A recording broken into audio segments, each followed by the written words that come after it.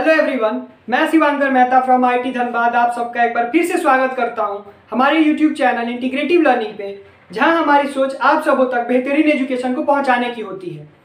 जैसा कि आप सभी जानते हैं कि इलेक्ट्रोस्टैटिक सीरीज़ की शुरुआत मैंने कुछ दिन पहले ही कर दी थी, और उसी सीरीज़ को कंटिन्यू करते हुए मैं आज आप सबों के बीच प्रेजेंट हूँ। आज इस वीडियो में हम कुलम्स लॉ के ऊपर बात करेंगे। कुलम्स लॉ में बहुत सारी चीज़ें हैं, सारी चीज़ें, सारे टॉपिक्स को कवर करेंगे। और इन टॉपिक्स पे जो क्वेश्चन है वो मैं नेक्स्ट वीडियो में डिस्कस करूँगा। तो चलिए बिना किसी देरी के कुलम्स लॉ को शुरू करते हैं। तो चलिए देखते हैं कुलम्स लॉ को।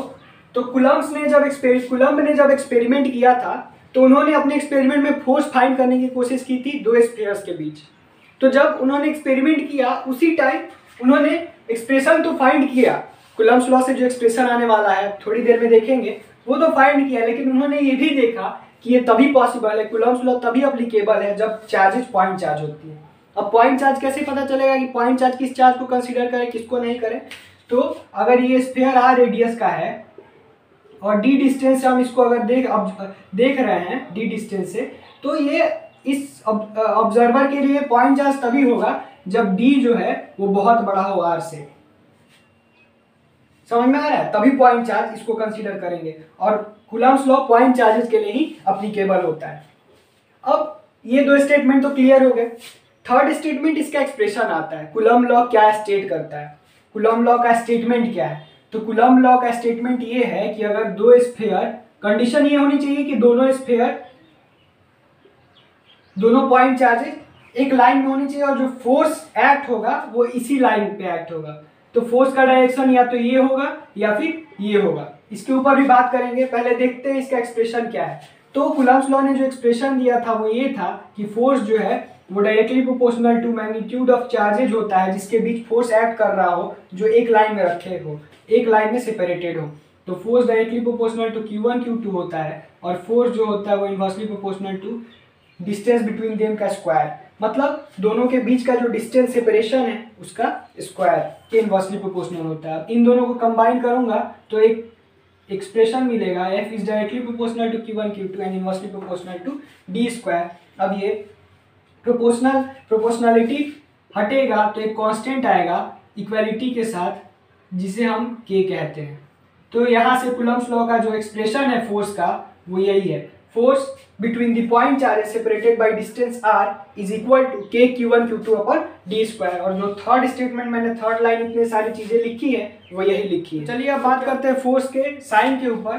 फोर्स किस डायरेक्शन में रहेगा? रिपल्सिव और अट्रैक्टिव कब होगा? तो अगर दो पॉइंट चार्जेज रखे हुए हैं, दोनों का साइन सेम है तो फोर्स रिपल्सिव होता है। तो अगर मैं फोर्स Q1 पे बात करूँ Q2 की वजह से मतलब force of one due to two तो इसका डायरेक्शन इधर हो जाएगा। इस डायरेक्शन में इसका डायरेक्शन होगा।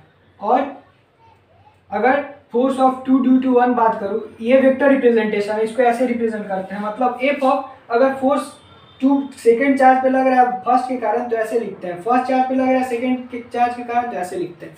तो इसका डायरेक्शन इधर हो जाएगा। तो फोर्स इसका मतलब रिपल्सिव हुआ जब चार्ज साइन सेम हो। साइन सेम हो। अगर साइन डिफरेंट है Q1 और Q2 माइनस अगर दोनों का साइन डिफरेंट है और दोनों के बीच में फोर्स एक्ट कर रहा है तो इस बार फोर्स अट्रैक्टिव होगा तो फोर्स का डायरेक्शन इधर हो जाएगा। इसी तरह एफ़ टू वन का डायरेक्शन भी इधर हो जाएगा। मतलब फोर्स रिपल्सिव होगा कब? जब साइन सेम हो और फोर्स अट्रैक्टिव कब होगा? जब साइन डिफरेंट हो। अब इसके बाद बात करते हैं के के ऊपर, जो कांस्टेंट हमारे पास आया था फोर्स के एक्सप्रेशन में K Q one Q two upon R square में। तो के का वैल्यू एक्सपेरिमेंटली फाइंड करने पे nine into ten to the power nine magnitude आता है इसका। और इसका अगर यूनिट इसके यूनिट की बात करें तो यूनिट याद रखने की भी ज़रूरत नहीं अगर लॉजिक से हम देखें तो इसी एक्सप्रेशन से इसको फाइंड कर सकते हैं। फोर्स का आपको ऐसा यूनिट अगर पता है न्यूटन होता है फोर्स का ऐसा यूनिट इसी तरह आर का होता है डिस्टेंस का मीटर होता है तो आर स्क्वायर का मीटर स्क्वायर हो जाएगा। और चार्ज का कुलम्ब होता है मतलब दो चार्ज है तो कुलम्ब स्क्वायर हो जाएगा। यहाँ से के का यूनिट क्या आ जाएगा? Newton metre square upon coulomb square अब फोर्स को एक और तरीके से लिखा जा सकता है मतलब के को one by four by epsilon naught हम लिखते हैं कि इसके इक्वल होता है। एप्सोलॉन नॉट जो होता है, उसको परमिटिविटी ऑफ़ फ्री स्पेस बोलते हैं। परमिटिविटी ऑफ़ फ्री स्पेस ऐसा क्यों बोलते हैं? क्योंकि जो चार्जेज अभी तक हमने जो भी पढ़ा है जो भी ये चार्जेज के एक्सप्रेशन पढ़े हैं, वो फ्री स्पेस में है, यानी वैक्यूम में है। अगर मीडियम में रखते हैं तो चार्ज का एक्सप्रेशन चार्ज का जो एक्सप्रेशन है, वो चेंज होगा। थोड़ी देर में उसके ऊपर बात करेंगे। तो एप्सिलॉन नॉट को परमिटिविटी ऑफ़ फ्री स्पेस बोलते हैं। इसका जो वैल्यू होता है around 8.85 point eight five into ten to the power minus twelve के इक्वल होता है, और यूनिट इसके इसके इन्वर्सली है के के ये एप्सिलॉन नॉट तो इसका रिवर्स हो जाएगा मतलब ये रेसिप्रोकल इसका C square upon newton metre square तो नॉट का यहाँ से ये यूनिट आ गया। अब बात करते हैं फोर्सेज वाला चार्जेज केप्ट इन अ मतलब अगर किसी मीडियम में चार्जेज रखे हुए हैं तो उन पे फोर्स का एक्सप्रेशन क्या होगा? अब तक जो भी एक्सप्रेशन पढ़ा हमने, वो तभी अप्लीकेबल है जब चार्जेज वैक्यूम में रखे हुए हो। तो आइए देखते हैं। तो अगर फोर्स इन वैक्यूम एफ़ में लूँ तो force in medium F dash जो होगा, वो एफ़ से छोटा होगा one by epsilon R multiple मतलब epsilon R times F dash F से छोटा होगा। तो एप्सलॉन आर क्या है? एप्सलॉन आर डायमेंशनलेस कांस्टेंट है, जो कि डिपेंड करता है मीडियम पे, और मीडियम इसे dielectric constant of the medium बोलते हैं। तो यहाँ से dielectric constant of the medium मतलब एप्सलॉन आर का डिफिनेशन क्या आ जाएगा? एफ़ अपॉन एफ़ डैश तो यही बात यहाँ पे मैंने लिखी है। Dielectric constant it is the ratio of force between two charges kept in a medium to that kept in kept in vacuum to that kept in a medium at the same separation मतलब vacuum में जो force लग रहा है और medium में जो force लग रहा है, दोनों का रेशियो जो होगा वही डायलेक्ट्रिक कांस्टेंट होगा। तो यहाँ से एफी डैश का एक्सप्रेशन क्या आ जाएगा? एफी डैश आ जाएगा one by four pi epsilon naught epsilon R Q one Q two upon R square यही आएगा। इसको हम एप्सलॉन के इक्वल लिख के और एप्सलॉन को परमिटिविटी ऑफ़ मीडियम बोलते हैं। परमिटिविटी ऑफ़ मीडियम जिस तरह epsilon naught permittivity of free space होता है या परमिटिविटी ऑफ़ वैक्यूम बोल सकते हैं, उसी तरह एप्सलॉन जो होता है वो परमिटिविटी ऑफ़ मीडियम होता है। और एप्सलॉन आर का जो वैल्यू है डाइलेक्ट्रिक कांस्टेंट का, वो या तो वन होगा या तो ग्रेटर देन वन होगा। तो यहाँ से कंबाइंड एक्सप्रेशन अब इसका डाइलेक्ट्रिक मीडियम का greater than equal to one होगा। वन कब होगा? बताइए वन कब होगा? वन तभी होगा जब मीडियम वैक्यूम हो, बाकी अदर मीडियम अगर हो तो ग्रेटर देन वन होगा एप्सिलॉन आर का वैल्यू अब देखते हैं वेक्टर फॉर्म में कुलम्स लॉ के एक्सप्रेशन को। अब तक जो भी चीज़ें थी वो स्केलर फॉर्म में थी। वेक्टर फॉर्म में कैसे रिप्रेजेंट करते हैं, इसको देखते हैं। तो अगर Q1 चार्ज रखा हुआ R1 डिस्टेंस है फ्रॉम ऑरिजिन और Q2 चार्ज रखा हुआ R2 डिस्टेंस है फ्रॉम ऑरिजिन तो Q1 और Q2 के बीच का फोर्स कितना होगा? तो अगर मैं Q2 में फोर्स निकालू वन के कारण मतलब force of F two one force on two due to one F two one तो इसका एक्सप्रेशन वेक्टर फॉर्म में क्या हो जाएगा? Force is equal to K into Q one Q two upon अब इन दोनों के बीच का डिस्टेंस ये आर टू है, ये आर वन है तो इन दोनों के बीच का डिस्टेंस कितना हो जाएगा? फाइनल माइनस इनिशियल मतलब R two minus R one का mod vector of R two minus R one का मॉड तो यहाँ से ये क्या आ जाएगा? Vector R two minus R one का मॉड क्या स्क्वायर और इसका डायरेक्शन इसका डायरेक्शन कितना होगा? Unit vector of R two minus R one इसका यूनिट वेक्टर अब यून इसका यूनिट वेक्टर तो इसको हम R two minus R one को ऐसे भी लिखते हैं। R two minus R one को लिखते हैं आर टू वन तो इसके जगह पे आप एस ये एक्सप्रेशन भी यूज़ कर सकते हैं। तो यूनिट वेक्टर को जब मैं लिखूँगा magnitude upon direction upon magnitude के फॉर्म में यूनिट वेक्टर को कैसे लिखते हैं? अगर यूनिट वेक्टर है कोई ए यूनिट वेक्टर है ए का यूनिट वेक्टर है तो ए को कैसे लिखते हैं? Direct vector A upon magnitude of A इसी तरह इसका भी लिखेंगे। Unit vector R two minus R one को कैसे लिख सकते हैं? Vector of R two minus R one upon magnitude of R two minus R one तो यहाँ से एक्सप्रेशन कितना हो जाएगा फोर्स का? K Q one Q two upon R two minus R one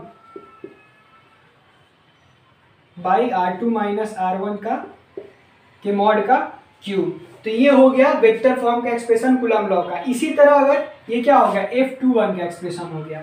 इसी तरह एफ़ वन टू का जब फाइंड करेंगे एफ़ वन टू का फाइंड करेंगे force on one two to two मतलब एफ़ वन टू का अगर फाइंड करेंगे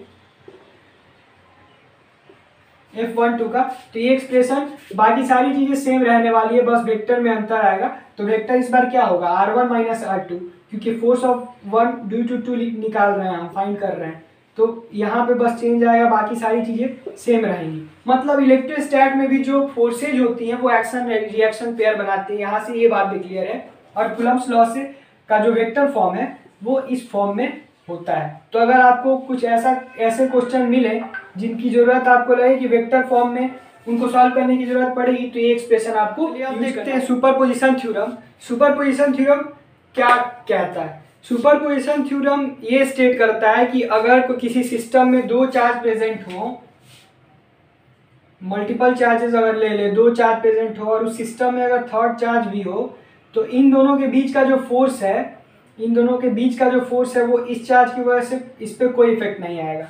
इसको अगर अदर वर्ड में मैं बोलूँ तो इस चार्ज पे जितने भी फोर्स जितने, इस चार्ज पे जो नेट फोर्स होगा वो इंडिविजुअल चार्ज फोर्सेज के सम के इक्वल होगा इंडिविजुअल चार्जेस के वजह से जो फोर्स लग रहा है, उसके सम के इक्वल होगा। अगर इतने सारे चार्जेज हैं, और मैं फोर्स अगर ले लूँ F one F two F three F one F two F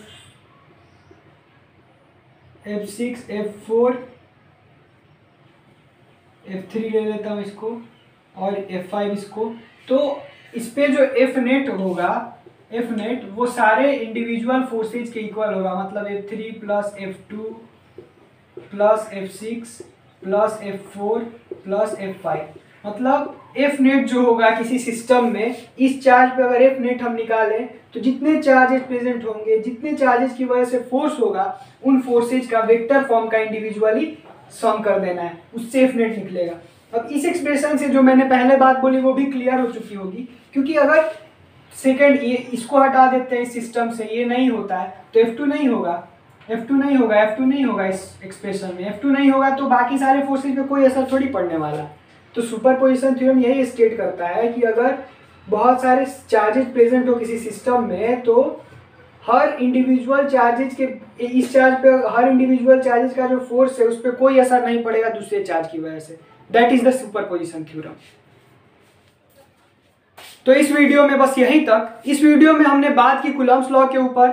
हमने देखा कुलम्स लॉ का वेक्टर फॉर्म। हमने देखा कि अगर पार्टिकल्स को या फिर चार्जेज को अगर हम किसी मीडियम में रखते हैं तो फोर्स पे क्या असर पड़ता है? Dielectric constant of the medium देखा।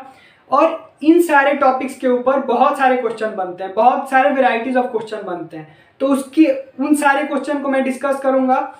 इस सीरीज़ के नेक्स्ट वीडियो में। और मैं कोशिश करूँगा कि उस सीरीज़ में मैं सारे क्वेश्चन डिस्कस करूँ, सारे डिफरेंट तरह के क्वेश्चन डिस्कस करूँ ताकि इन कॉन्सेप्ट पे आपके, आपकी जो पकड़ है, वो मज़बूत हो जाए। मैं आशा करता हूँ कि आपको ये वीडियो पसंद आई होगी, और आपके लिए अगर ये वीडियो हेल्पफुल रही हो तो इस वीडियो को लाइक और शेयर करें। साथ ही साथ हमारे चैनल को भी सब्सक्राइब करें, और बेल आइकन को भी प्रेस करना ना भूलें, ताकि आगे आने वाले दिनों में एजुकेशन से रिलेटेड वीडियोस आपको इस चैनल के थ्रू मिलती रहे। तब तक के लिए stay safe and stay healthy इस वर्ष सिचुएशन को हमें साथ मिलकर पार करना है और सब जो भी गाइडलाइंस आ रही हैं प्रॉपर गाइडलाइंस फॉलो करें। जो भी सही सोर्सेज से गाइडलाइंस मिले, बस उसको ही फॉलो करें। इधर उधर की बातों पर ज़्यादा ध्यान देने की ज़रूरत नहीं है। डॉक्टर्स के प्रिस्क्रिप्शन में जो भी मेडिसिन ले, जो भी चीज़ें करें, वो एक सही सोर्सेज के मीडियम से होनी चाहिए। कुछ भी कर रहे हैं, कुछ भी फॉलो कर रहे हैं, कोई कुछ बोलता है, कोई कुछ बोलता है, वो सारी चीज़, वो सारी बातों पर ध्यान देने की कोई ज़रूरत नहीं है। तब तक के लिए stay safe and stay healthy और पढ़ाई करते रहें। Thank you very much